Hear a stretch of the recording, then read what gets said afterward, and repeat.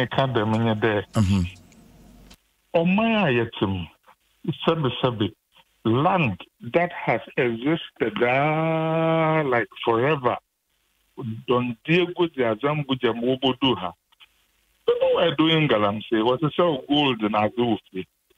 Emma si saying yetin atina ho acha ma galamsey private people wo tutu fum wo saying so they are putting toxic chemicals in the water.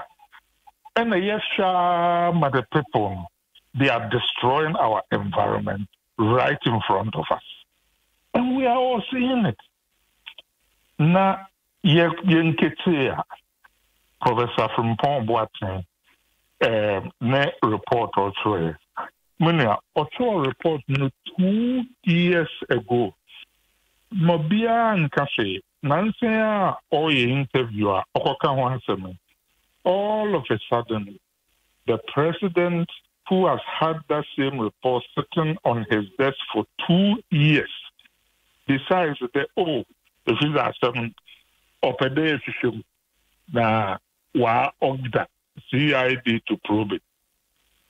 But even that fast mpo no, wentu mpo wenjae for it to work out. A few days later, nankasa n'aban issues a statement there.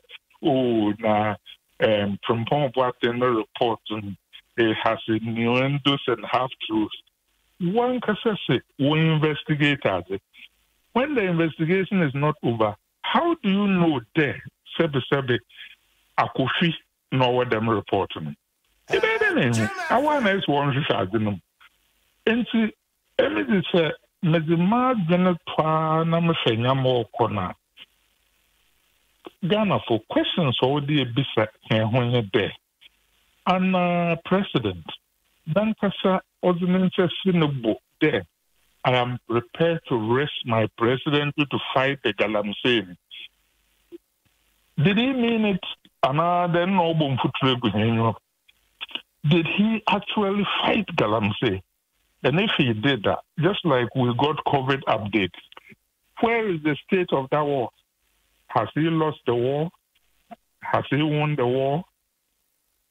But we can see the evidence in front of us.